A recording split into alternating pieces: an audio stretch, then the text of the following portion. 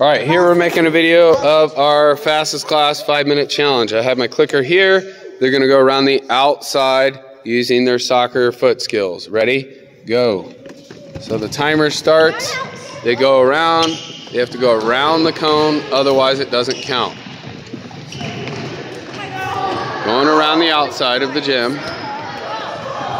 They have to control the ball with their feet, not using their hands at all. Every time they get back to this black line here in the middle, I'm gonna click the clicker. So again, it's four minutes left on the clock. There's a one. So now he's got one. Two, keep going, keep going. There's three. There's number four, five, six, seven, eight, nine. So hopefully you're getting the idea. 10, 11,